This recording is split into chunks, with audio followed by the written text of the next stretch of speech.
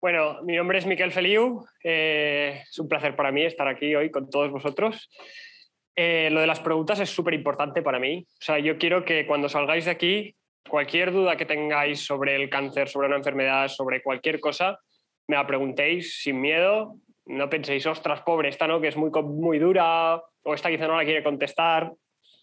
Al final, cuando llevas más de dos años con cáncer, eh, poco puede hacer una pregunta, o sea, no te va a molestar una pregunta, no te va a molestar, pues porque al final yo entiendo que lo hacéis porque os interesa, o sea que por favor que nadie se corte, que para mí es súper importante que, salgáis de aquí con las dudas resueltas y, ya está, y que nadie se quede ahí, quería preguntarle esto y no lo he hecho. Entonces, bueno, eh, también os quiero avisar que tengo un poco de tos, es uno de los problemas cuando invitas a alguien con cáncer a dar una charla, pues que te puede toser un poco, pero no os preocupéis, que estoy bien. Y, nada, voy a, explicaros un poco pues, eh, cómo fue todo al principio. Mi nombre, bueno, es esto es Miquel Feliu, tengo 19 años, ahora mismo estoy estudiando Derecho, segundo de carrera, eh, y, soy de Barcelona. Entonces, eh, mi, mi historia es un poco que yo en abril del 2018 jugué un torneo de fútbol y al acabar el torneo de fútbol empecé a tener muchos dolores en el pie. Entonces tenía muchos dolores, lo tenía hinchado, lo tenía rojo. Y entonces fui a un traumatólogo y me dijo, me miró y me dijo, no, no tienes nada, la radiografía está perfecta. Y me vino a decir un poco que me estaba quejando demasiado porque, por, por no tener nada, que se me había hinchado un poco y ya está. Y entonces me dijo, ves, reposa unos días, te tomas antiinflamatorios y ya se te pasará. Entonces estuve unos días de reposo, me había dicho 15 y al tercero ya estaba, volviendo a jugar a fútbol, que es una cosa muy mía, esto de acelerar los plazos. Y entonces, bueno, eh, pasó un mes y volví a tener los dolores en el pie. Entonces pensé, pues por tonto, ahora has vuelto a recaer y vuelves a tener los dolores en el pie. Entonces hace reposo y ya se te pasará. Y entonces esto fue pasando hasta verano, pues que una vez al mes pasaban como 5 o 6 días que tenía muchísimo dolor en el pie, tomaba pues antiinflamatorios, se me calmaba pero un dolor, pues esto, muy intenso y que había noches que decía, ostras, em, no puedo dormir, o sea, me duele mucho el pie y me tome lo que me tome, no duermo. Entonces, al final, cuando tienes un dolor así tan persistente, pues empezamos a ir a más médicos y después de bastantes meses, en diciembre del 2018, me diagnosticaron un tumor benigno y me dijeron que tenía un tumor benigno en el pie, que era un encondroma, que no me tenía que preocupar, que igual, que no me quejara tanto porque porque realmente era una cosa benigna y que no tenía que estarme haciendo tanto dolor y que no hacía falta extraérmelo porque pues como era benigno lo podíamos dejar ahí y ya está, porque quizá la operación era más compleja que nada y, y después era más pesado todo. Y entonces yo seguí con los dolores de pie, obviamente te han dicho que no te quejes, no te quejas, yo soy una persona que cuando tengo dolores en general no me gusta ya quejarme de por sí y pensaba, ya me han dicho que no es nada, pues ahora ya no voy a decir nada más en, y entonces, bueno, pues seguías viviendo con esos dolores, pero era como que habías aprendido a vivir. O sea, salías de fiesta y te dolía el pie, o ibas a jugar un partido de fútbol y notabas ahí como cojeabas un poco, pero bueno, dices, mira, es lo que hay, me toca vivir con esto y así me pasará. Y entonces llegó el verano del 2019. Y entonces, em, bueno, yo ese verano, pues me acuerdo que, que por ejemplo, en, en julio me empezó a doler muchísimo la espalda, em, no entendía nada en plan, ostras, sí que me duele, qué raro. Y entonces me hice unas pruebas, no había nada. Y entonces en agosto me volví a doler y digo, es que esto es que estoy haciendo un deporte nuevo o algo, de haber jugado demasiado a tenis. Y como no sé jugar, pues me he hecho daño en la espalda y ya está. Y entonces estuve cinco días casi sin dormir, pero esto con la espalda muy clavada. Y me acuerdo que cuando salí, porque ya estaba bien, lo que le explicaba a la gente es que había tenido el lumbago. En plan, bueno, sí, es que me quedé, me quedé un poco clavado y tal que no me podía mover y entonces la gente en plan, ah, pobre, pobre, ya está. Y entonces pasa. Y entonces mi madre me dijo, cuando vuelvas a Barcelona, en plan, cuando te recuperes, bajas a Barcelona y te hacemos más pruebas, porque esto no es normal. Y mi madre es doctora. Y yo le dije, bueno, a ver, eh, ya me hicieron pruebas hace un mes, no hay nada, ya se me ha pasado, no pasa nada. Y además era verano, digo, ahora no me hagas bajar aquí a Barcelona. Y entonces me quedé ahí en la casa de veraneo, y entonces bajé unos días después y pues como ya el dolor no, no daba más señales, pues, pues pasé un poco. Y entonces empezó una tos bastante fea, la verdad. Y también era como que de repente venía, de repente se iba. Eh, me acuerdo un día también que quedé con unos amigos y unas amigas, llegué a la casa y llegué tosiendo, que eso de no puedo parar de toser. Y al final ya hacía como la broma, en plan de que estaba tosiendo y que no lo podía frenar, pero realmente era como demasiada tos. Y entonces, pues esto eran como o sea, realmente lo veo ahora y digo, guau, qué tonto, ¿no? En plan, era como súper evidente y explicándolo aquí delante de vosotros, eh, aún me siento más tonto.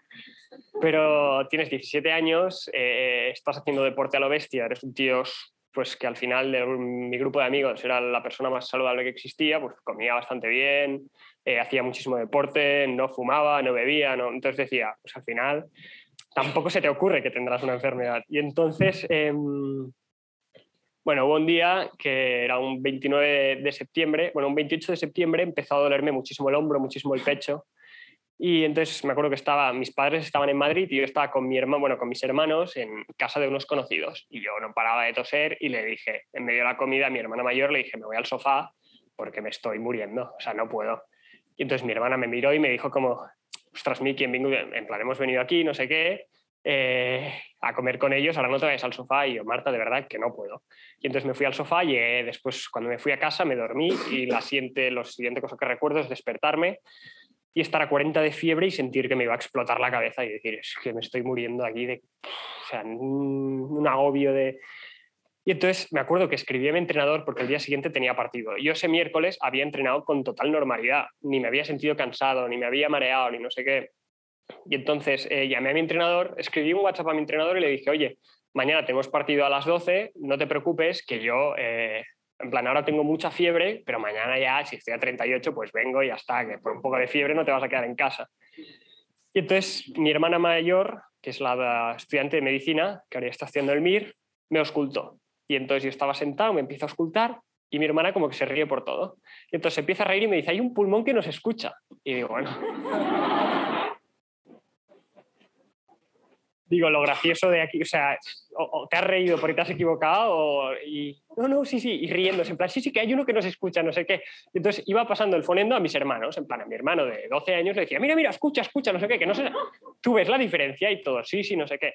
Pero bueno, al final, claro, dices, ella decía, soy estudiante de medicina, eh, si realmente tuvieras un neumotórax, llevas horas que te duele, eh, no estarías aquí tan pancho, no sé, debe ser raro, esperamos a que mañana venga mamá y que te visite y no sé qué. Entonces me fui a dormir y la peor noche que recuerdo casi en mi vida, o sea, no dejé de toser en toda la noche, mi hermano que duerme conmigo no durmió en toda la noche y yo no podía parar de toser. Y entonces iba viniendo mi hermana, se despertaba, no sé qué, eh, ¿estás bien? No sé qué, te doy algo, me iba dando pastillas para la tos, típico que te dan lisipaína para curar un cáncer, ¿sabes? Pero, pero la tos seguía, seguía, seguía y entonces al final me, pues al final supongo que me dormí el agotamiento. Me acuerdo que escribí a mi entrenador a las 4 de la mañana, le dije, oye, mañana, mañana no voy a venir y pues al final por la mañana me dormí y cuando me desperté mi hermana mayor ya no estaba y estaban mis dos hermanos, la, tengo una un poco más mayor que yo y el pequeño. Y entonces me desperté, empecé a ir hacia la cocina y entonces empecé a notar que me subía algo y entonces empecé a escupir sangre en, en el grifo de la cocina. Y entonces vino mi hermana María, que no es la doctora, lo vio y dijo, oye, aquí está ya. Entonces llamó a mis padres y les dijo, oye, que Miki está tosiendo sangre, no para de toser sangre y, y que hay que llevarlo al hospital. Gran diagnóstico. Y entonces eh, yo decidí esperar porque mis padres estaban volviendo de Madrid, que habían avanzado el AVE, y dije, bueno, pues ya me espero dos horas y voy con mi madre. Entonces yo me acuerdo en el camino con, en el coche con mi madre hablando y comentando que yo le decía, wow, me va súper bien esto, porque al final un día ingresado mínimo me voy a estar, porque mi madre me decía, debes tener una neumonía, que tela. Y, entonces me voy a estar un día ingresado y mañana tengo dos exámenes, acabo de empezar segundo bachillerato, los dos primeros exámenes y no los he estudiado. Y entonces digo, y es como un muy mal comienzo. Entonces digo, pues ya me va bien, eh, pues ingresar en el hospital, escribo un WhatsApp al profe, oye, mañana no vendré y tal. Y entonces, em, bueno, llegué al hospital, mm, le dije a mi madre, sí, le dije, no, no estoy tan mal, en plan, déjame en la puerta y voy andando. Entonces fui andando, llegué a urgencias, no sé qué, dije, bueno, me duele un poco el pecho. Y entonces me enviaron a hacerme una radiografía y subí arriba. Y yo, que soy práctico de por sí, pues subí, decidí subir por las escaleras. Entonces, cuando llegué arriba, estaba la doctora esperándome con la radiografía y me dijo, Miquel Feliu, le digo yo. Y me dice, ¿pero tú eres el de la radiografía? Y le digo, sí. Y me dice, ¿ya has subido andando? Y le digo, sí. Y me dice, pues tienes un pulmón que no funciona. Y yo, ah, esto ya lo había oído. Y entonces eh, ahí ya dices, bueno, entonces me ingresaron el 29 de septiembre, que es el día de mi santo, además, San Miguel, Arcángel. Y entonces, bueno, me ingresaron en el hospital de Barcelona, me pusieron oxígeno porque esto me costaba respirar y entonces eh, me empezaron a hacer pruebas porque parecía una neumonía, había un pulmón todo lleno de sangre y por eso no estaba funcionando, entonces estaba respirando solo con un pulmón y entonces me pusieron respiración em, también asistida, pues porque, para que no me ahogara tanto y no dejar en plan, para que durmiera y esto.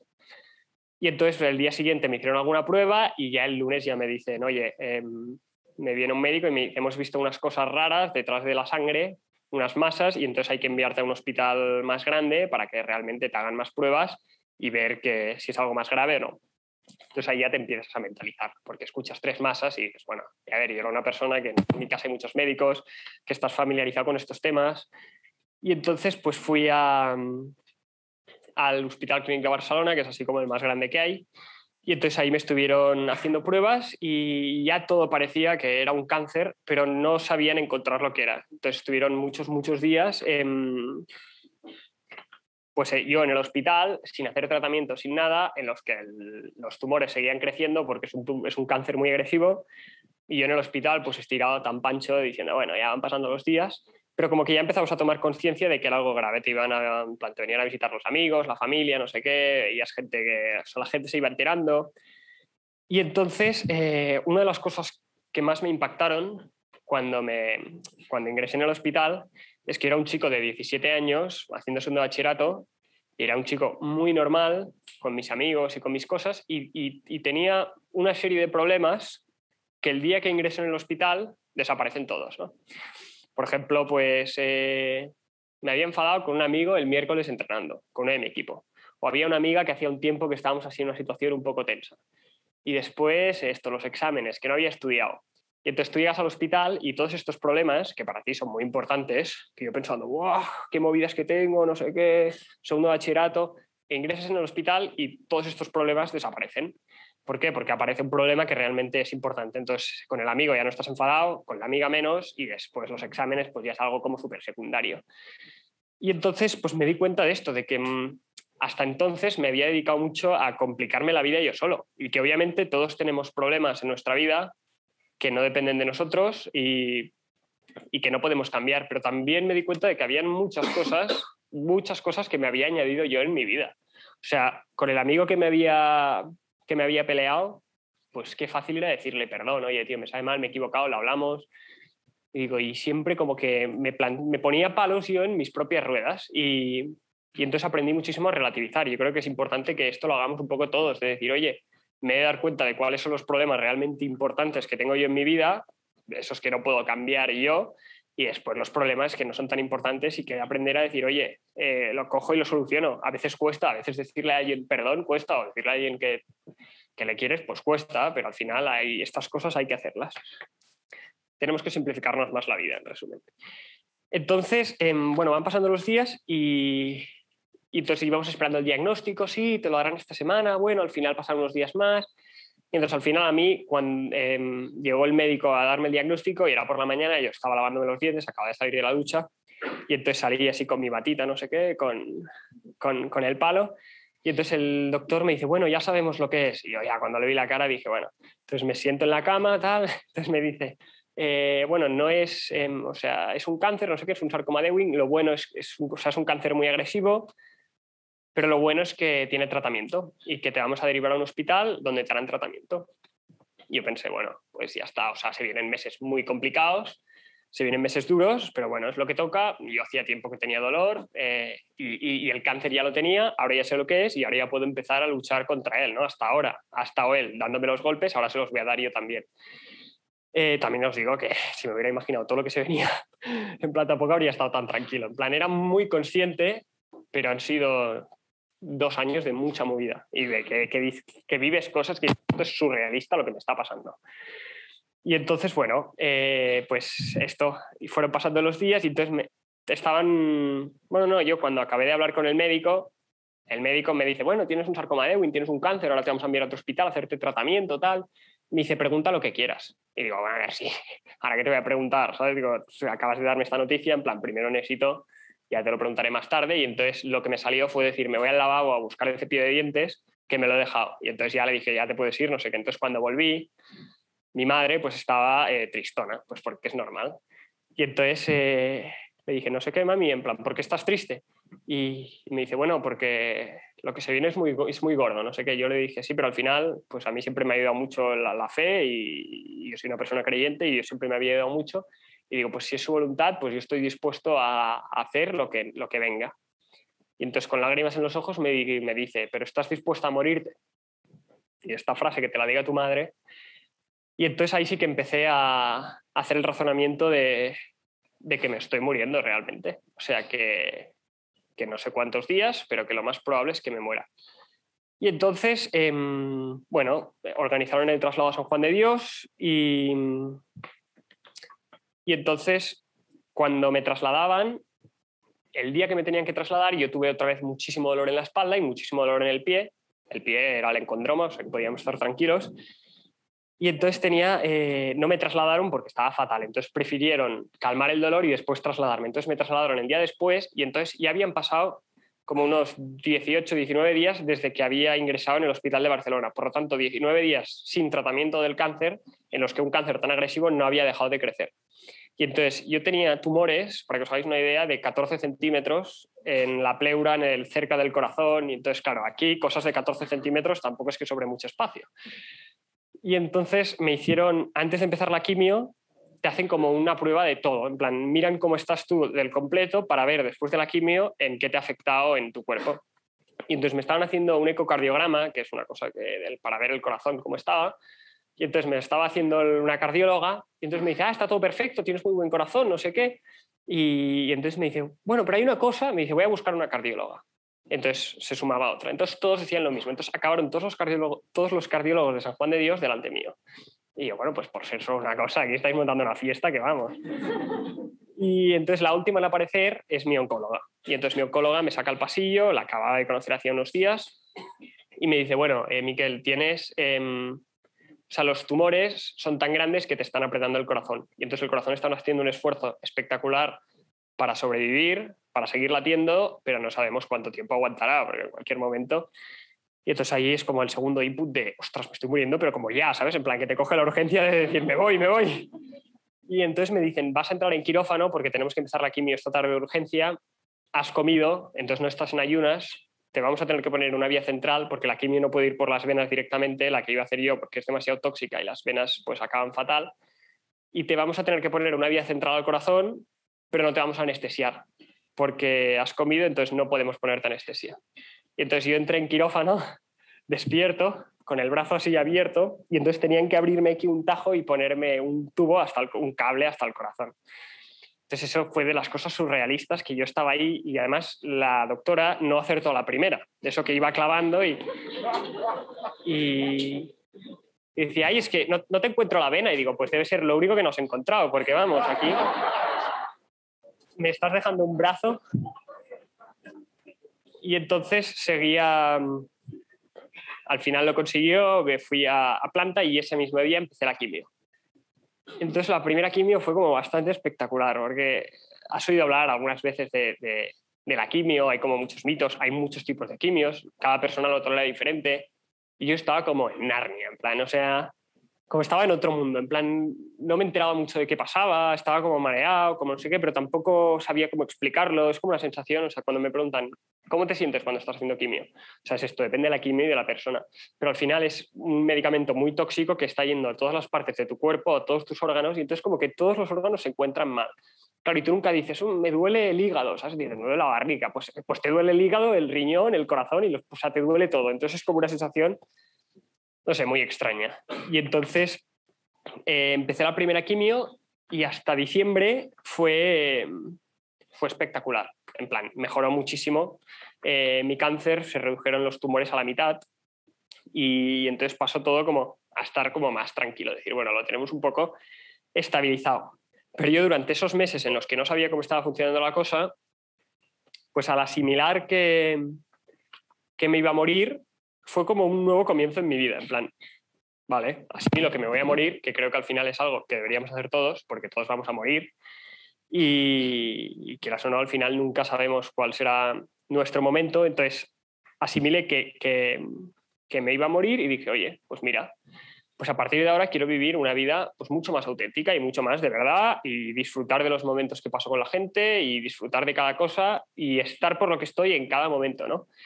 Y porque al final la vida es muy pasajera y yo Uh, es lo que os digo. Y es que esto sonará muy surrealista, pero por ejemplo, en primero de bachillerato, los que vais a Viaro, quizás os acordaréis, de que vino una señora a darnos una charla, que era la jefe de voluntarios del Hospital de San Juan de Dios, que es donde yo estoy ingresado ahora, y hablaba del sentido del sufrimiento. Y hablaba de que esta conferencia se le daba mucho a los jugadores del Barça para explicarles y decirles, oye, que ahora lo tenéis todo, pero que esto es aleatorio, que podéis no tener nada. Y yo escuchaba y pensaba, ya, sí, pero a ver, estadísticamente.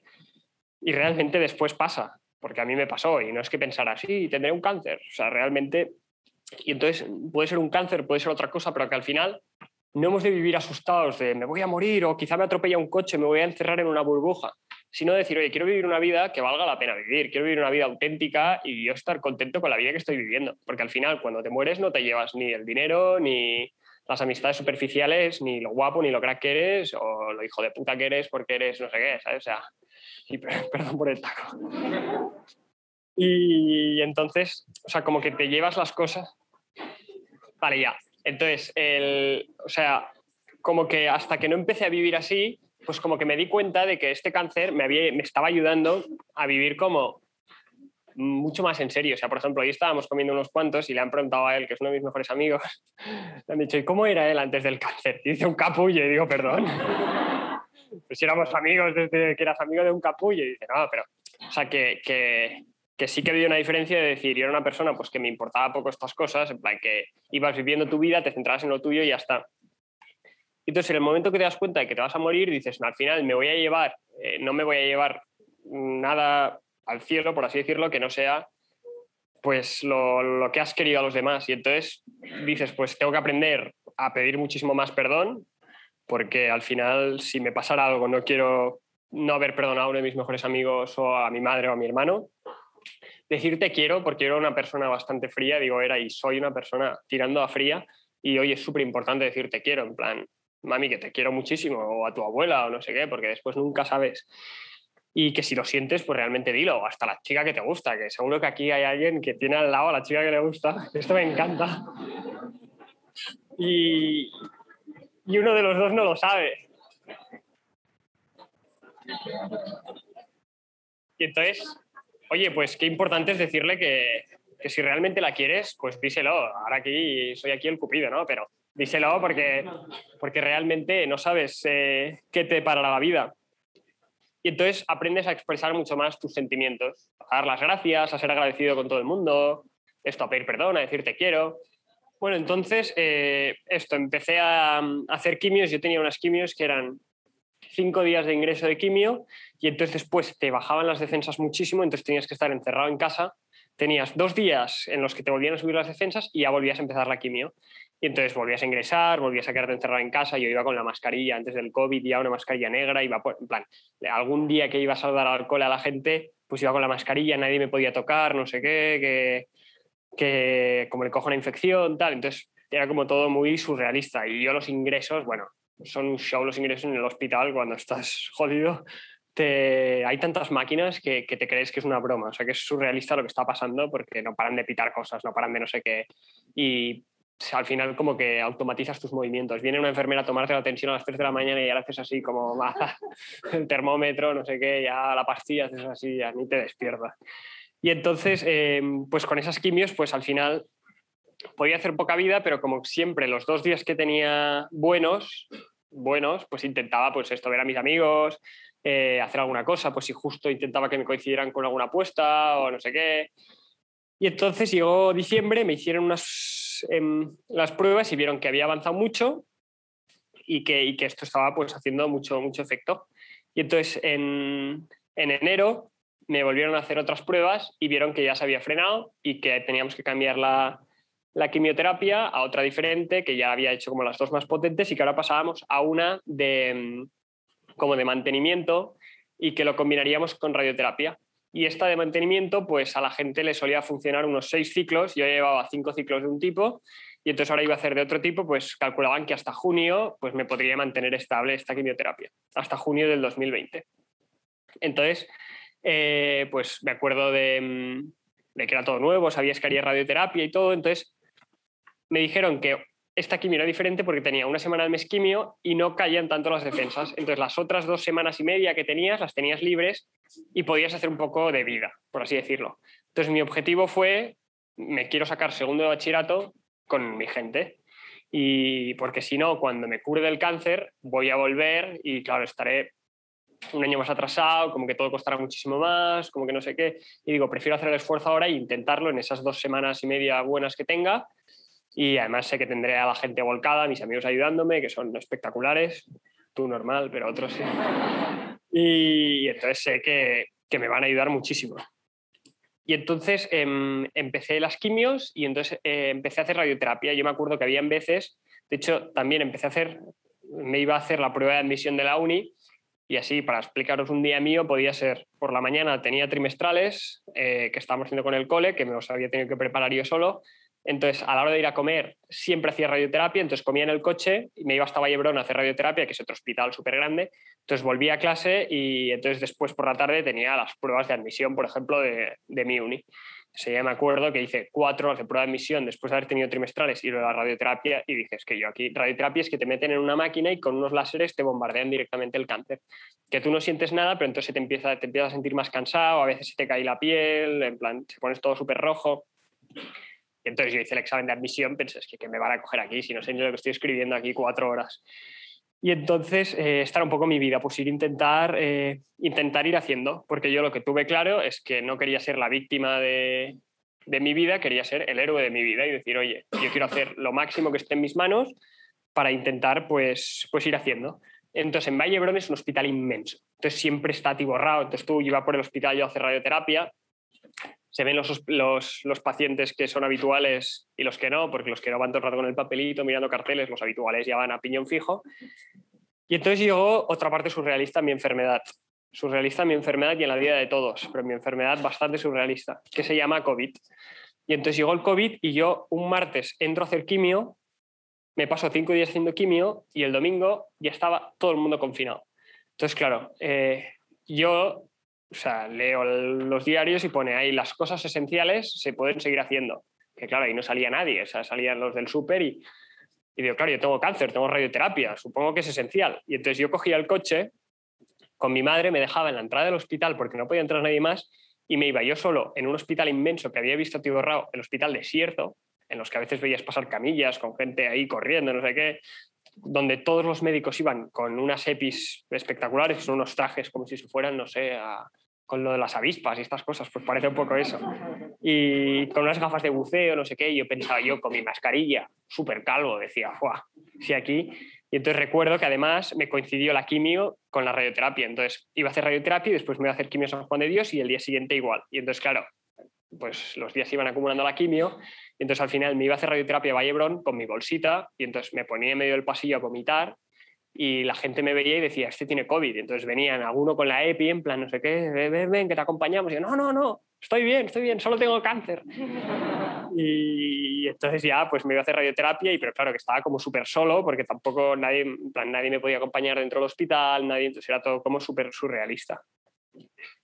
Pero me fue muy bien la pandemia. ¿Por qué? Por dos cosas. La primera es que el bachillerato lo salvé en la pandemia. Eh, no tenía nada más que hacer, eh, después la SELE, pues fue la SELE que fue. Eh, y me fue súper bien, la verdad.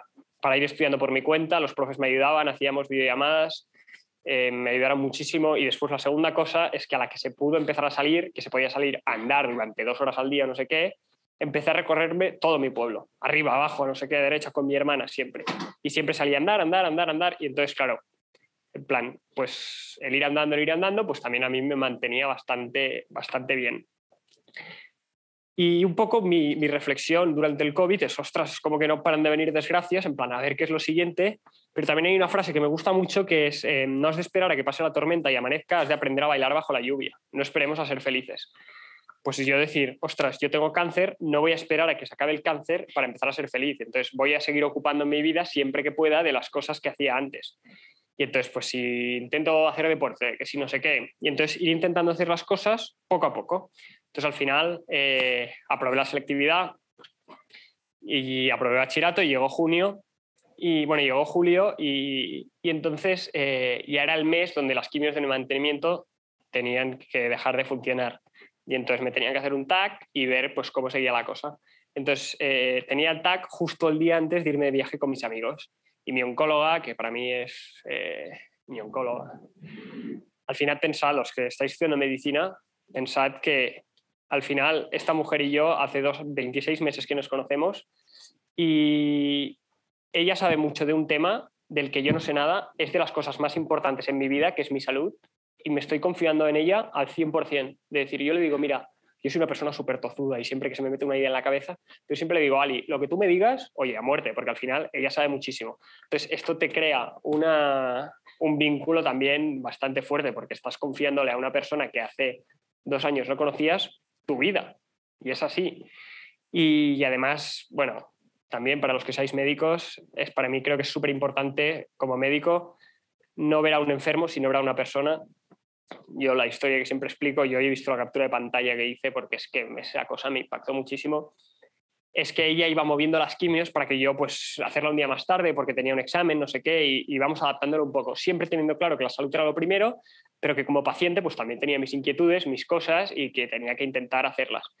Y el día antes de la selectividad me escribió un mail mi oncóloga y me dijo, oye, sé que mañana es un día súper importante para ti, sé que te lo has currado mucho, que vaya súper bien y pensé, ostras, esto es un médico para mí. O sea, una persona que está en su hospital y que se acuerda de que tiene un paciente que tiene una cosa importante para él y entonces si para mí era importante, para, él para ella era importante. Entonces a mí esto pues realmente a los que sois médicos os invito a, a ver personas, que es como de las cosas más importantes. Y entonces llegó ese verano y ese verano pues me fui de, bueno, por ejemplo, el, el tag que tenía antes del viaje con mis amigos me lo puso después porque me dijo aquí, como tenemos una noticia de drama y te de viaje, pues aún nos vamos a cargar el viaje. Y entonces me fui de viaje con mis amigos, fue espectacular, entonces volvimos y, y entonces me hicieron el PET y vieron que la quimio seguía funcionando. Ya hago un spoiler que no, no aguanté seis ciclos esa quimio, aguanté 20 me parece que son 200 quimios, que es una burrada estarte dos años haciendo la misma quimio, que yo no lo entiendo, no es mérito mío, o sea, es algo que no sé por qué pasó, pero pasó. Y la cosa es que pues, pues, pues conseguí hacer esta quimio y ese verano pues también me empecé a plantear un poco de objetivos así de decir, oye, el año que viene voy a empezar una carrera, voy a empezar un doble grado, pero ahora que estoy en verano, pues dije, yo veraneo en la Cerdaña, que es ahí en la montaña, y dije, quiero subir los cuatro picos más altos de la Cerdaña. Entonces yo me acuerdo que lo subía y al principio era como bastante show, porque lo subía ahogándome. Pero al final decía, claro, es andar, en plan tampoco... Y entonces me paraba y, los, y al final pues los conseguí subir y siempre que subía pues hacía un baile para hacer el paripé y hasta y volvía a bajar y no me movía en todo lo que quedaba de día. Pero el irme exigiendo poco a poco, es decir, un poco más, un poco más, un poco más, pues me iba encontrando un poco bien. Y entonces llegó septiembre y tuve la idea del año, que fue, bueno, voy a jugar a fútbol también con mi equipo. Eh, y entonces, eh, claro, yo no podía jugar a fútbol. en o sea, yo dije, voy a jugar a fútbol 10 minutos. Los últimos 10 que me pongan, nunca se me ha dado muy mal, tampoco muy bien, pero entonces estos 10 minutos seguro que les puedo ser útiles. En plan, no aguantaré más, pero 10 minutos sí. Y también como spoiler os digo que acabé jugando los partidos enteros, que yo tampoco lo entiendo, pero poco a poco pues iba cogiendo fuerzas y me sentía como cada vez más fuerte. Me decían, cuantas más quimios, peor. Y yo, cuantas más quimios, mejor, porque me sentía como súper, súper en forma y, y que me habían dicho unas cosas y que al final yo como que nunca me había, nunca había pensado, ostras, eh", o sea, como que acababa la quimio y decía, oye, acababa un martes, miércoles y jueves me los dejaba así como descanso y viernes ya a entrenar o a no sé qué. O un día antes de la quimio salía un poco a correr porque como que me daba la vida. Digo, ostras, eh, tendría que estar fatal y puedo salir a correr, vaya regalo, no voy a aprovecharlo mientras lo tenga.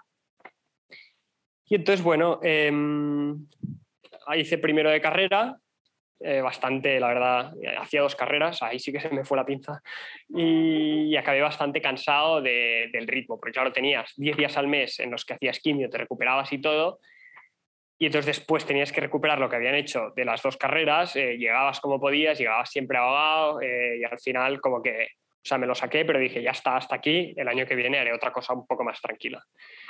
Y entonces em, llegó septiembre de este año, después de otro gran verano, la verdad, y entonces me dijeron que ya llevaba 25 ciclos de quimio en dos años, que son 25 ciclos, son em, más o menos 250 quimios, porque voy a, a, dos quimios el día, cada ciclo eran cinco días, pues 250, y 250 potes de quimio no es ninguna broma, y no es ninguna broma para el cuerpo, ni a corto plazo ni a largo plazo la radioterapia no había hecho nada, la verdad. Y entonces, em, pues me dijeron que, teníamos que dejar durante un tiempo el tratamiento y que pasaríamos, mira, de hecho, a ver, eh, y que pasaríamos, o sea, ahora mismo lo que me mantiene vivo es esto. O sea, una, esta caja, pues una pastilla al día es lo que me mantiene vivo en principio.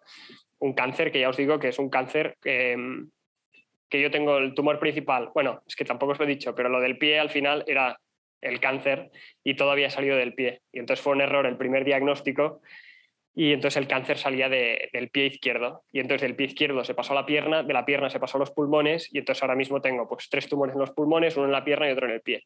Y los de los, los de los pulmones pues están más pequeñitos, pero bueno, que tienen, miden pues 7 centímetros creo y al final que son cositas también ahí en medio. Pero bueno, que me van dejando hacer vida. Entonces había hecho tanto y el cuerpo estaba como tan cansado, yo me sentía bien, pero como a largo plazo les preocupaba que las quimios me, cascaran para toda la vida, que me dieron este nuevo tratamiento, que son unas pastillas que no curan el cáncer. Y entonces eh, son como unas pastillas, o sea, son unos tratamientos que se llaman, eh, bueno, ahora no me sale, pero así compasivos, que es que no es la primera línea de tratamiento, pero, pero te los ponen porque creen que pueden funcionar. Y entonces son unas pastillas que no te curan del cáncer, pero te lo mantienen parado en principio durante un tiempo. Y entonces ahora estoy en este estado en el que sé que no me estoy curando, que no me voy a curar y que estoy pues viviendo hasta que las pastillas decidan dejar de funcionar y que entonces que lo más probable objetivamente es que me muera, a no ser que pase algo eh, extraordinario, que siempre cabe que pase algo extraordinario como, como tantas cosas han pasado.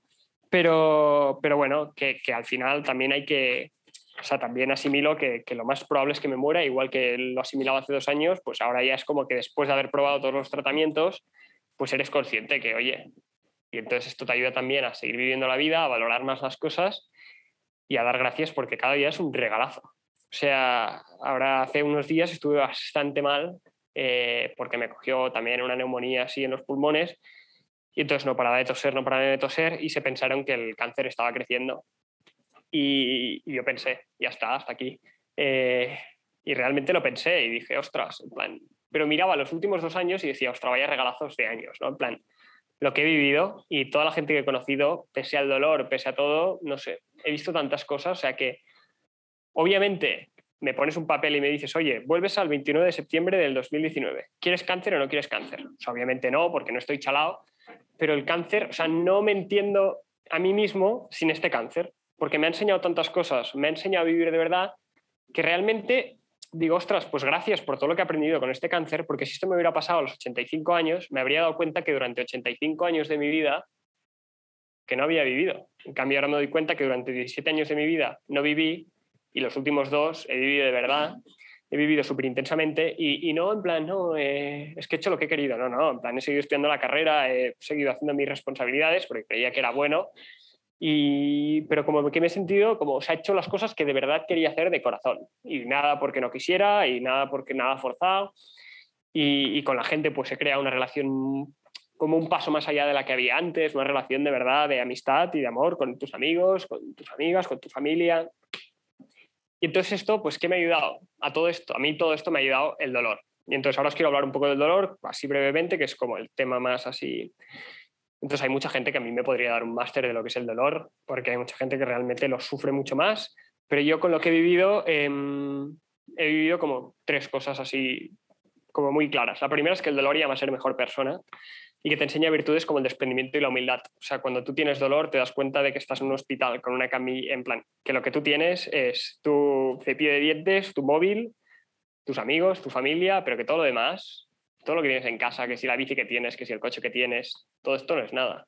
Entonces te enseña que al final eres muy poca cosa y que, que pese a que puedes hacer mucho, cualquier día viene una cosa así y te puede dejar tumbado y que lo que te queda es la familia, es los amigos, es a la gente que has querido. Y entonces te enseña pues, a decir, oye, que en realidad eh, me creía mucho y tampoco... La segunda es que si no aceptamos el dolor nos volvemos rencorosos y dolidos. O sea, la gente dice, ostras, no sé qué, tienes mucho mérito. Y digo, no, no, no, porque lo he hecho, o sea, primero lo he hecho por mí.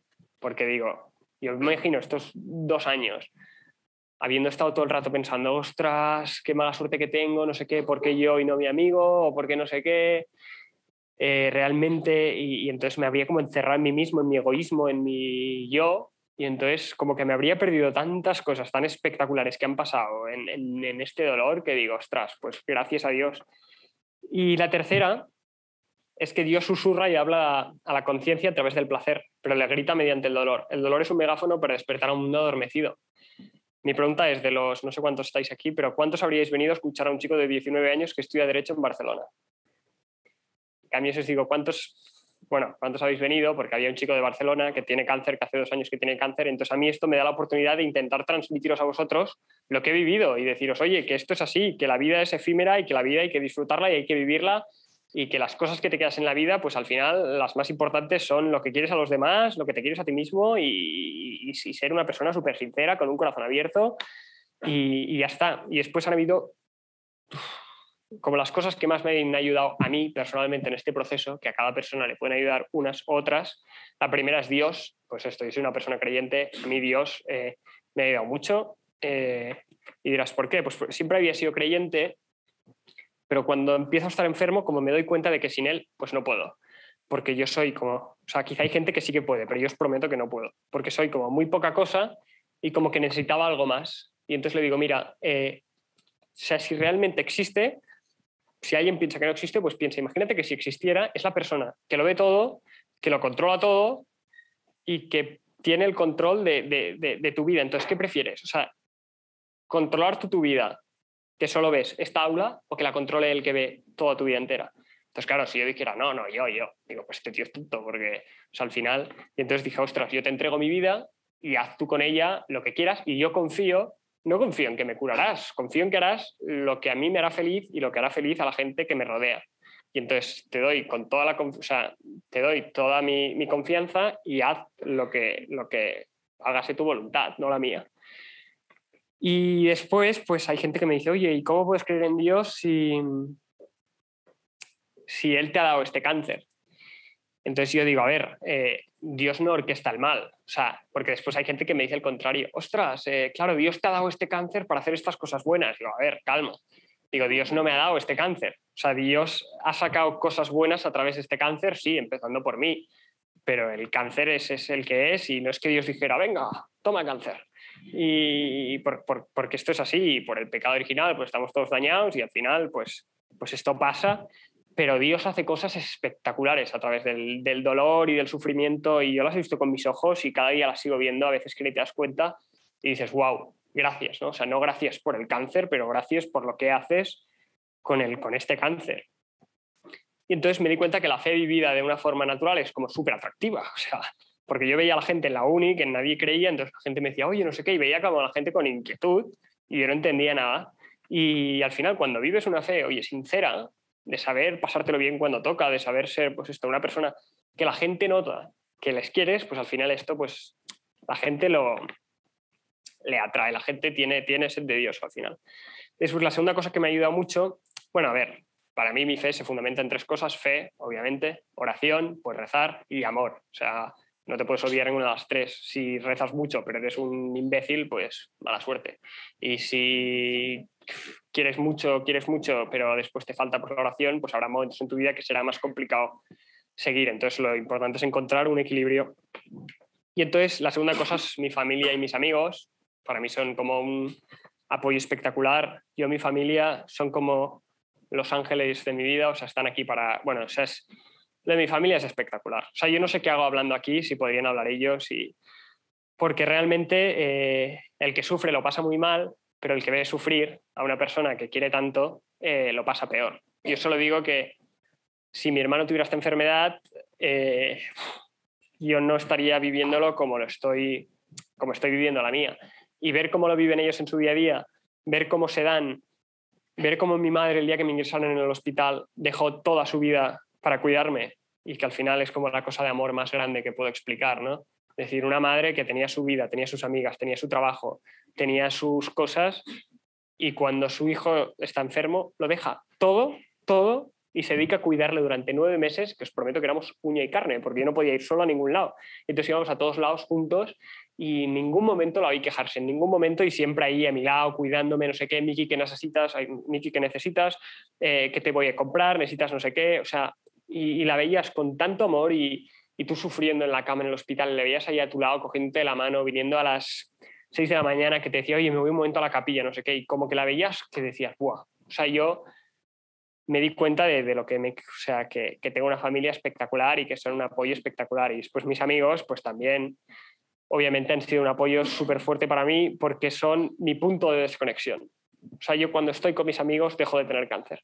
Al principio, obviamente, eh, les cortaba bastante. Yo soy bastante de hacer bromas con este tema y más cuando estoy eh, con mis amigos.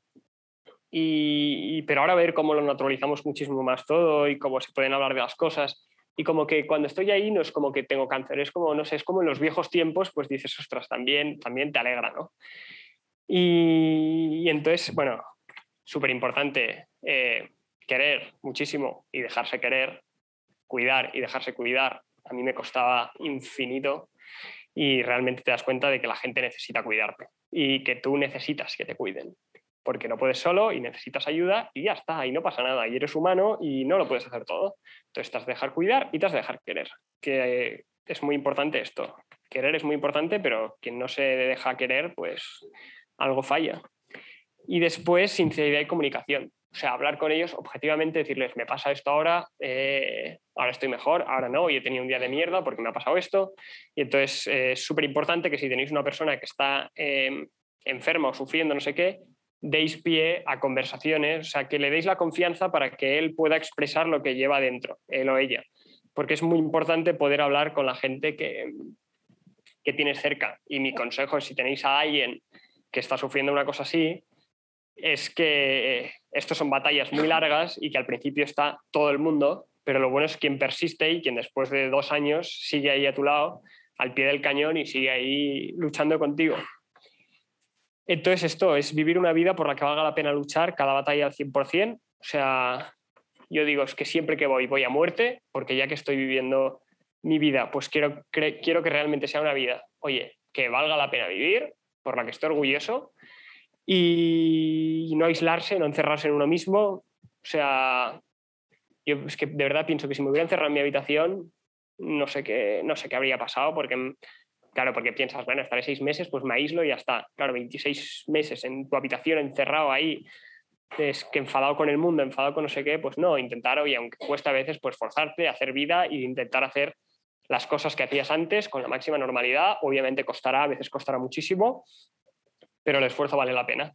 Y yo así como para acabar os quería decir que esto, que para mí es súper importante que todos los que estáis aquí salgáis con la idea de que, de que la vida es un regalazo, que hay que disfrutarla muchísimo.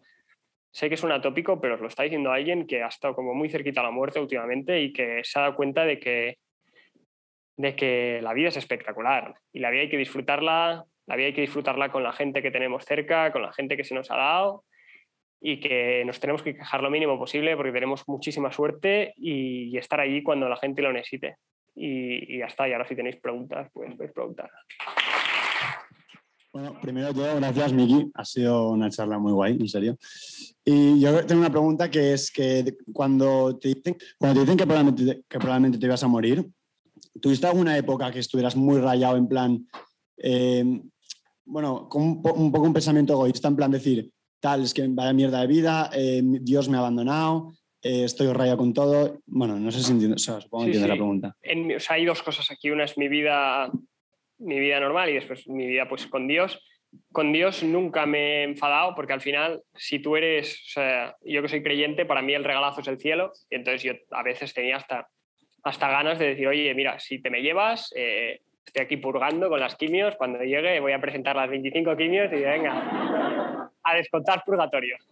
Y, pero no, y después, con, con, el día a día, o sea, la, la reflexión que yo hago es, ostras, si me quedan realmente 10 días, 20 días, 3 meses o los que sean, antes que lamentarme porque, ostras, me voy de la vida, al revés, ya que te estás quejando, ya que quieres ya que estás triste por algo que vas a dejar, pues eso que vas a dejar que, que sea la leche. O sea, vívelo al máximo, disfrútalo muchísimo.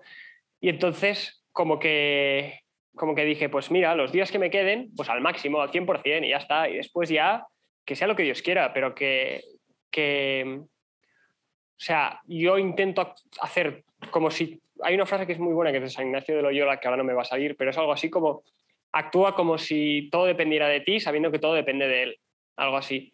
Pues entonces eh, yo dije, voy a hacer lo máximo por mi parte y ya después, si me he de morir, pues me moriré. pero quiero morirme diciendo, eh, he disfrutado esta vida y he vivido esta vida y ni me he muerto triste ni pensando, ostras, qué mierda irme ahora, ni, o sea, realmente orgulloso de, de lo que había hecho, de la gente que me ha querido y de la gente que quiero y en este sentido yo lo vi así. Ah, y, otra pregunta, perdón, ¿eh? ¿eh? ¿cuál recuerdas, en plan, de estos últimos dos años, desde que tienes el cáncer, obviamente, cuál recuerdas el momento como más feliz que has vivido? No hace falta que digas uno, puedes decir varios. Hay muchos momentos, la gente, o sea, se cree que, pero mi vida es mucho más normal de, la gente que, de lo que la gente se cree. Yo creo que los momentos más felices son cuando vuelves a hacer cosas que te dijeron que no volverías a hacer. Por ejemplo, cuando vuelves a jugar un partido de fútbol y te sientes bien y no sé qué, pero cuando vuelves a salir de fiesta, cuando vas a un concierto. Además, esto es una faceta que la gente no sabe, que solo saben pues, mis amigos, mi gente más cercana, pero yo tengo un punto por esto de decir me voy a morir, que de repente, pues no sé por qué, se me gira la cabeza y, y no sé, y digo, oye, que si tengo que saltar una valla para conocer a este tío, que lo admiro, pues la salto y ya está. Y, entonces momentos así improvisados, pues con los amigos, en un concierto, eh, esto, momentos como súper puntuales que antes no habrías valorado tanto, o hasta subir con un amigo a un mirador, o sea, muchos momentos de, de mucha felicidad que, que antes no habría valorado, pero que valoras y que dices, pero sobre todo te diría esto, cuando te dicen que no vas a volver a hacer una cosa y volverla a hacer y volverla a hacer bien, pues piensas, ostras, en plan, me da esto, me da muchísima felicidad. Miquel, Miquel, Miquel, yo, yo tengo una pregunta. Eh, mi pregunta es, Miquel, primero todo muchas gracias por venir aquí a Pamplona y decirte que, qué es, lo que, qué es lo que te motiva, todo, todo lo que te hace luchar y levantarte cada mañana cuando suena el despertador a la hora que te levantes y seguir luchando, seguir tirando para adelante y, no, y no tirar la toalla. Gracias. Obviamente hay días que son muy complicados despertarse y hay días que dices, ostras, eh, merece la pena todo este esfuerzo por, por esto al final, agarrarse tanto a la vida vale la pena. Lo que me motiva a mí es que yo, si algún día me muero, quiero morirme sabiendo que he luchado hasta el final y que la gente sepa que di todo lo que me quedaba, que, hice todo lo que dependía de mí y, que hice todo lo que estaba en mis manos. Que al final, eh, que sí que hay cosas que se escapan de mí, pero que no quería que, que mi actitud fuera algo que yo mismo me pudiera reprochar. De decir, ostras, he vivido con una actitud que no, o al final me he rendido. O sea, yo le dije al cáncer que que si él ganaba no sería porque yo me rindiera 100% y que, que se podía rendir él si quería, obviamente, cosa que no ha hecho. Pero, pero esto, de que, de que realmente yo creo que, que vale la pena luchar, vale la pena luchar hasta el final y, cuando ves las cosas buenas pues que pasan a tu alrededor, también esto te anima a decir, oye, que, que esto está aquí por, por, algún sentido y hay que seguir aquí dando caña. Somos todos iguales. Yo tengo en San Juan de Dios, cuando entro, tengo a mi ejército, que son todos niños pequeños rapados, son todos ahí. Somos todos iguales y son súper monos, porque te vienen y te dicen, eh, somos iguales. Y para ellos es claro, es un gigante de piedra aquí con niños así. Y eh, tienes el botoncito, y entonces ya sé que me está preguntando por el portacat, que es una cosa que llevo aquí, que lleva a la gente que tiene cáncer. Y entonces para ellos ver a uno igual que ellos es como, oh". muchas gracias, y como el papi por todos. Mi pregunta es, como persona que tiene que asimilar que puede que se muera, eh, seguramente habrás tenido días de bajón que tú dices, qué pereza. Eh, ¿Esos días qué haces? ¿Cómo intentas que se te pase? Esos días dejo que sea el día de mierda que tiene que ser. O sea, cuando llego un día por la tarde y estoy mal y digo, hoy estoy mal, pues yo he llorado pocas veces durante mi enfermedad, pero me acuerdo que las veces que he llorado estaba en mi habitación, me he puesto a llorar, he llamado a mi padre o a mi madre, una vez cada uno, para que no se pongan celosos. Y en su momento lloro, pues me desespero, digo, esto es una puta mierda, perdón, pero bueno, es así. Y... Pero me digo a mí mismo que mañana cuando me despierte ya no puedo volver a estar así. O sea, que, que me doy como ese rato de, de estar mal, pero que el día siguiente, oye, que la vida sigue, que no puedo estarme aquí pues autoconsolándome todo el rato y que está bien estar mal, pero que también hay que luchar por estar bien y intento siempre despertarme con el, oye, día nuevo, pues día nuevo. y siempre pues cuando estoy así mal, mal, me voy a dormir temprano. Digo, así me olvido, me duermo y el día siguiente cuando me despierte, pues ya empiezas despertándote y yo qué sé, te pones música en el altavoz y ya, ya empiezas a tope. Pero sí, sí. Hola, eh, muchísimas gracias por darnos tu tiempo. Eh, cuando te dicen que lo del pie es un tumor maligno, ¿te acuerdas de aquellos que te decían no te quejes? Sí, sí. Te acuerdas de muchas cosas, porque de hecho el doctor que me diagnosticó el tumor benigno es un doctor de mi hospital. Y cuando yo estaba en planta, él subió a verme. Y él ya sabiendo que yo tenía lo que tenía. Y él sabiendo que se había equivocado. Entonces es una situación que realmente dices, ostras.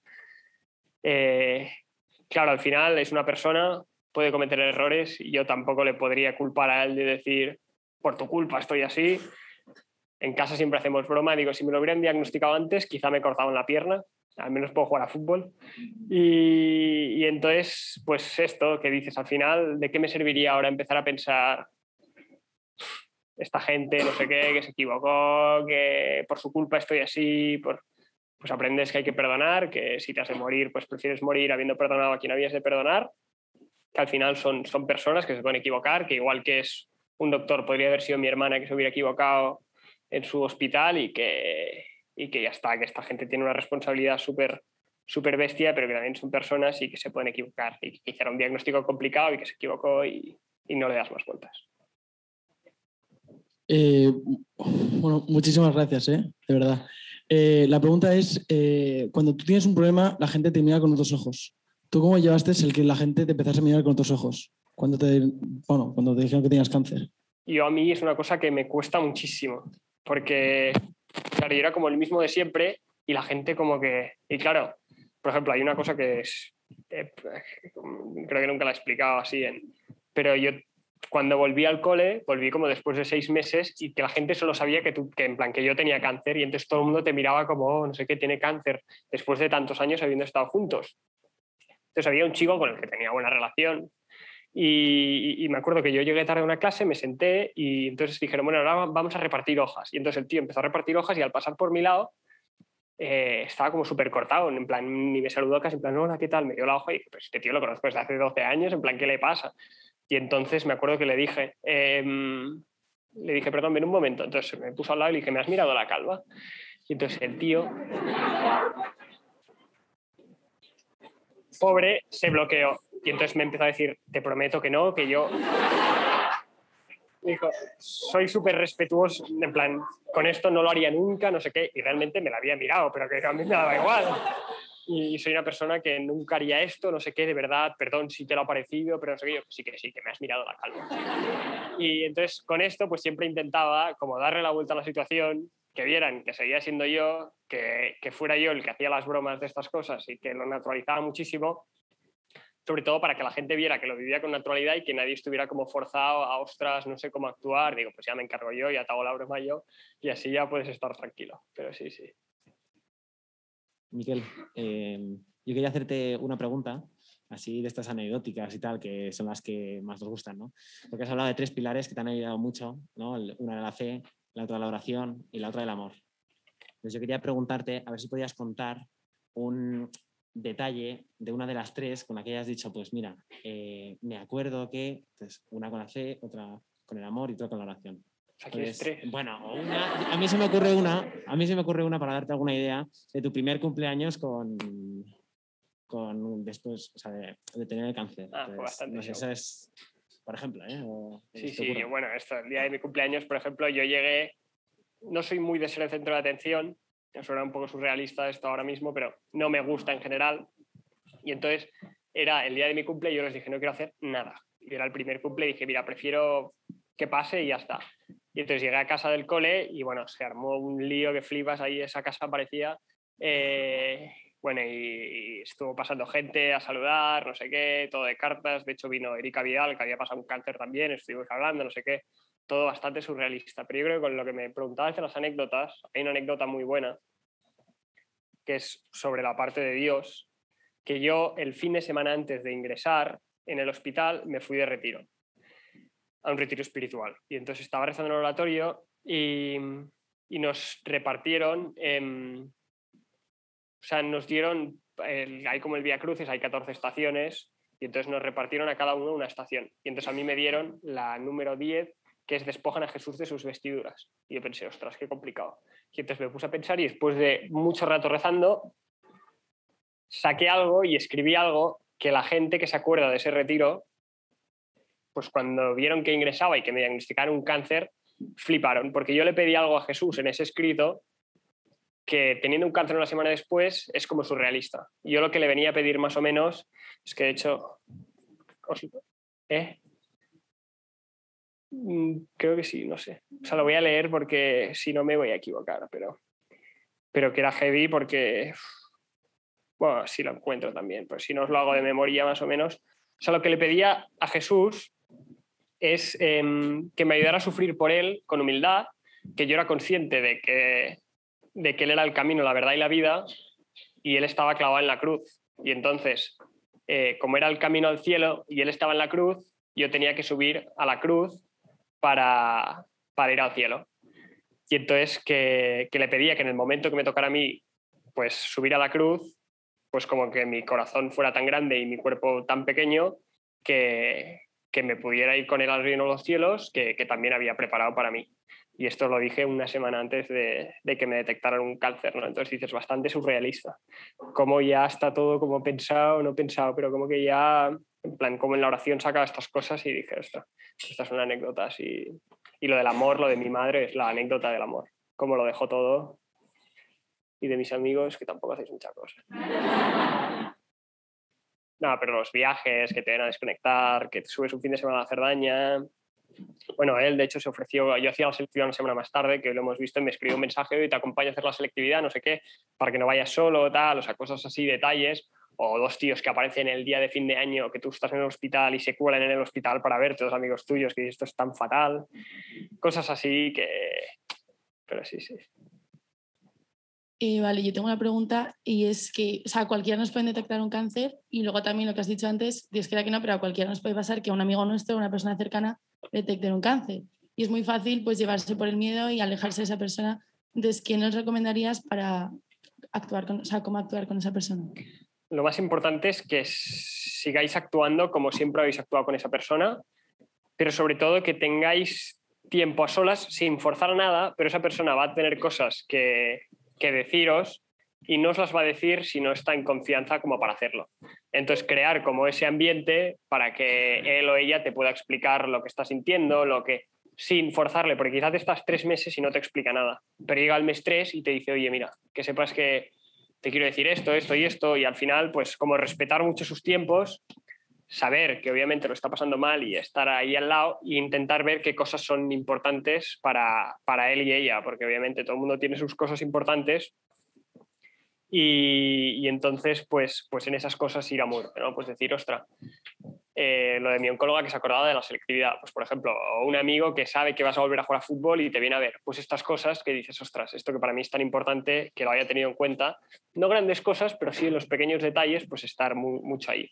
Y sobre todo, pues eh, facilitarle mucho el que si algún día él decide abrir su corazón y explicarte lo que siente por dentro, Em, pues hacerlo. Y después, a mí una cosa que me enfada mucho es cuando alguno de mis amigos me dice, bueno, es que esto te va a parecer una tontería. Y bueno, pero si realmente tú eres mi amigo y me lo has de explicar, o sea, explícamelo. O sea, no tratarle diferente porque tenga cáncer. Tú eres otra persona, tú tienes tus problemas y tienes derecho a seguir teniendo eh, con ese amigo o esa amiga esa relación que ya tenías y no te va a explicar, eh, o sea, porque tu problema quizás sea un poco menor que un cáncer o diferente, no tienes por qué dejarle de explicar tus cosas. Entonces, como seguir tratándole con la máxima naturalidad posible. Hola, estoy aquí, aquí, aquí. Eh, bueno, primero, muchísimas gracias por, la charla, me ha gustado muchísimo. Y luego, eh, como estudiante de psicología, me gustaría saber si has ido alguna vez a terapia y sabiendo que la cabeza a veces juega muy malas pasadas, si te ha ayudado y, esas cosas. O sea, en San Juan de Dios hay un terapeuta que se encarga de estas cosas. Eh, a mí se me ofreció desde el principio hacer terapia y yo estoy súper a favor de hacer terapia cuando la necesites. Yo he hablado con él alguna vez, solo que siempre se reía de mí porque yo le presentaba como soy una persona que siempre es muy, o sea, como que piensa mucho en lo que le pasa, intenta como ponerle nombre a las cosas y entonces siempre le presentaba mis problemas y le decía las soluciones que había encontrado. Entonces se reía y me decía, tú te lo guisas y tú te lo comes. pero para mí me ayudaba mucho porque era una persona que, a la que yo le podía explicar todo sin que hubiera una, o sea, un vínculo emocional tan bestia como hay con tus padres. Pero claro, decirle a tus padres, bueno, pero que el día que me muera, pues claro, tus padres pobres empiezan a dedicarles las lágrimas. Entonces, con una persona así, pues una persona que realmente tú te puedes abrir muchísimo más, eh, contarle cosas con una naturalidad súper bien y que te puede ayudar mucho a procesar según qué cosas mentalmente. O sea, decir, oye, o sea, al final, igual que la quimio tiene efectos secundarios también y, ves a otros médicos, pues también puedes tener efectos secundarios de estar agotado, de no sé qué, de que te pasen cosas y entonces está muy bien hablar con una persona especialista que sepa bien, que te pueda asesorar y que te ayude sobre todo a procesar toda la información que no dejan de darte. Y entonces pues yo lo veo como algo espectacular. Yo he hecho bastante poca porque todo lo que sea pisar el hospital eh, para cualquier cosa que no fuera hacer quimio me mataba, o sea, yo iba lo mínimo siempre pero realmente creo que está súper bien. O sea, y lo digo de todo corazón. ¿Qué tal, Miki? Aquí. Eh, yo tengo una pregunta así un poco más sencilla, eh, espero. Eh, básicamente, nos has contado un poco, pues, qué, es, qué has sacado de este cáncer, de estos dos años. Entonces, mi pregunta es, ¿qué sacas de los años anteriores del cáncer y qué es lo que buscas eh, a partir de ahora, eh, en este preciso momento. Y una anécdota, pues en plan así, bueno, anécdota, un objetivo, pues subir este monte, no sé, algo así, ¿no? Un poco. Gracias. mis primeros 17 años son una pérdida de tiempo que flipas. O sea, bueno, tú me conocías, o sea, no era un mal tío, no era, era un tío bastante normal, me gustaba el deporte, sacaba buenas notas, tenía muchos amigos, tenía amigas, eh, no me iban mal las cosas, pero como que eso de vivir a medio gas y vivir por ti mismo y, y entonces como que sí, que escuchabas a tus amigos y tal, pero que al final muchas veces les aconsejabas más lo que tú querías que fuera su vida que no lo que realmente era bueno para ellos y estas cosas. Entonces, como que te das, o sea, como que los 17 primeros años de mi vida, como que fue un vivir, pero como a medio gas eso que dices, bueno, sí, voy haciendo. De hecho, la frase voy haciendo la usaba bastante yo, que decía, sí, sí, voy haciendo. Oye, que tienes 17, 17 años, no puedes ir haciendo, es ir a tope al 100% y, y, a muerte. Y así como objetivos, ahora mismo, aparte de curarme, que es el objetivo número uno, hay veces que me vienen locuras a la cabeza. Entonces tengo a mis padres, que realmente me han apoyado muchísimo, que son los que frenan un poco el carro. Yo, por ejemplo, hace, no sé, hace dos meses me cogió. Dije, me voy a hacer un triatlón. Y mis padres, sí. Ahora, con la carrera, con el fútbol, con el no sé qué, te vas a empezar a entrenar para hacer un triatlón. Y dije, no voy a hacer un triatlón. Pero sí que me gustaría hacer una cosa así, no sé, el maratón que hizo Álvaro Postigo, pues digo, ostras, ah, es que es un tío humilde, pero pues me gustaría hacer alguna cosa así que físicamente, como para, para, demostrar que al final los objetivos están, eh, o sea, las barreras están en tu cabeza y que tú puedes llegar hasta donde te lo plantees. Y obviamente tienes un impedimento grande que es el cáncer, pero que con esfuerzo y trabajo, siempre que mínimamente la enfermedad lo permita, se pueden conseguir cosas muy grandes. Entonces me gustaría hacer algo así. Buenas tardes, Miquel, aquí al fondo. Eh, bueno, primero muchas gracias por haber venido aquí y habernos contado toda tu experiencia con el cáncer bueno, yo y creo que todos nosotros te admiramos mucho. Y nada, mi pregunta es muy sencilla, solamente quería saber de qué equipo eres.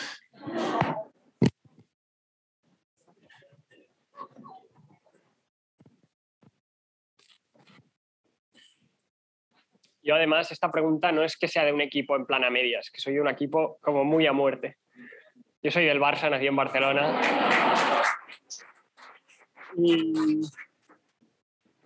Y con el Barça muerte desde, desde, desde súper pequeñito, he sido siempre súper del Barça y además de esos que, que lo vive. Yo siempre me indigno y digo, ostras, mira que, o sea, ya el sufrimiento del cáncer ya es mucho, ahora no me pongas al Barça noveno, que aquí ya...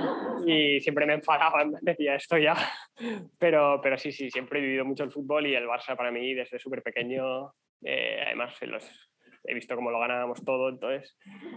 Pero bueno, ahora estamos en épocas bajas, eh, pronto me ficharán a mí a este ritmo, pero eso. ¿Qué tal? Buenas. Em, bueno, yo quiero hacer una pregunta que igual es un poco más agridulce, porque viéndote aquí tan joven y, que pareces eso, un, un titán emocional que tiene que haber un talón de Aquiles, ¿no? O sea, algo que a día de hoy te diga, "Joder, tengo miedo, que puedes tener mucha fe y, haber asimilado la muerte, pero que digas, coño, esto 100%. A mí lo que más miedo me da, o sea, me dan miedo dos cosas principalmente. La primera es todo lo que dejo atrás el día que yo me muera.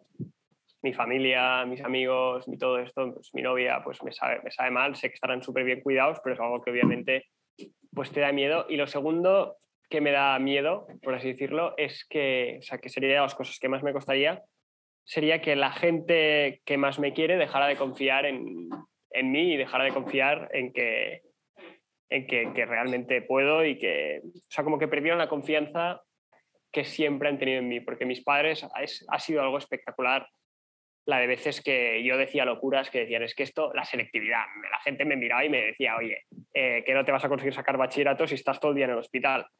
Y mis padres decirme, oye, si tú quieres, pues adelante. Eh, la carrera, eh, había gente que me decía, no, ya lo harás cuando te cures, no sé qué. Mis padres me decían, si tú quieres, oye, adelante. Y como siempre me han, me han estado apoyando con todo, pues mi único miedo sería que algún día dejaran de apoyarme, que gracias a Dios sé que no lo harán, pero ese sería mi tendón de Aquiles, el sentir cómo he perdido el apoyo de la gente que más quiero.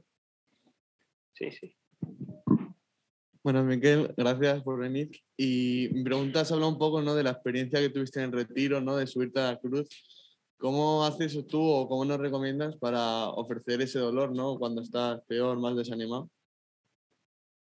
encontrar cosas por las que ofrecer ese dolor, sobre todo, y esas cosas. O sea, yo, por ejemplo, cuando tengo un amigo que me dice, ostras, eh, me está costando muchísimo, no sé, tonterías, ¿eh? pero ahora, hoy no me estoy pudiendo concentrar nada. Entonces, soy un poco cabrón y le digo, ofrécelo por mí. Y entonces, claro, a esas horas de estudio, eh, entonces ofrecerla por cosas que sean importantes para ti también. O sea, ostras, qué dolor en la pierna. Y dices, bueno, va, pues lo ofrezco por, por esta cosa, en plan, por esta persona que quiero y que le está pasando esto. Y al final, si hacemos un todos por todos, pues hacemos un, un bien espectacular. Bueno, va a ser la, la última. Bueno, muchas gracias. Eh, yo quería preguntarte si tú, por ejemplo, has vivido el cáncer con otra gente con cáncer o has vivido solo, en plan, tipo la película Maktub, que al final pues se está rodeando y consigue fortalecerse con los otros. Bueno, pues esa parte. Yo soy bastante hater de las pelis con gente con cáncer porque me parecen un poco alejadas de la realidad. Pero, pero están bien también para visualizarlo y todo eso, o sea, para que la gente... Y, y yo he vivido, o sea, al principio esto era una cosa que me costaba muchísimo porque yo era una persona que estaba llevando esta enfermedad relativamente bien y entonces no quería ir a un sitio para empezar a oír las penas de, de, la gente que, que tenía cáncer porque pensé, joder, aún voy a descubrir penas que ni me había dado cuenta, ¿sabes? Y entonces como que me costaba mucho.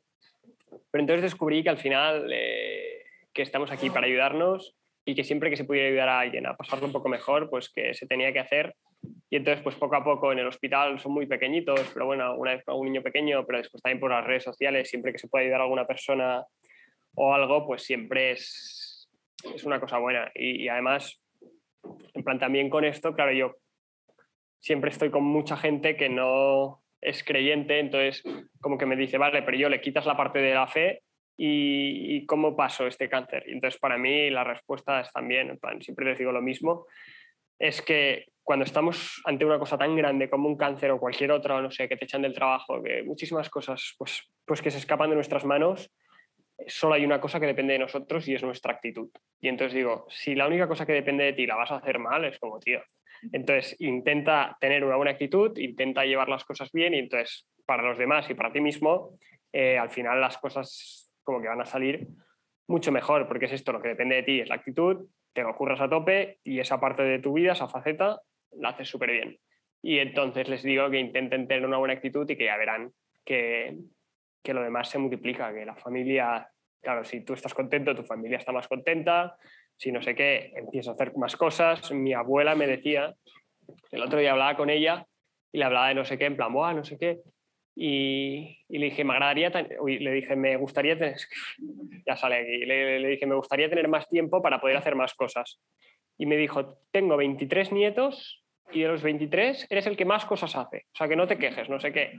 Y esto al final es por la actitud de decir, oye, quiero realmente llevarlo con buen humor y esto después la vida te regala tantísimas cosas que, que esto. Entonces, el vivir en comunidad con, con, gente que está pasando lo mismo que tú, pues también te puede ayudar a, aprender muchas cosas y, dar las que tú has aprendido, porque al final personas que hagan más de dos años que están con un cáncer, pues hay las que hay y entonces pues también hay que intentar pues, ayudar como a los nuevos, por así decirlo, que es un poco cruel, pero, pero eso. Nada, yo creo que ya de parte de todos, que muchísimas gracias por venir, por regalarnos tu tiempo y que hemos aprendido muchísimo de ti, que ha sido un chute de energía y espero que tú también te quedes con eso, con un chute de energía de nuestra parte y que estás invitadísimo cuando quieras. Muchas gracias.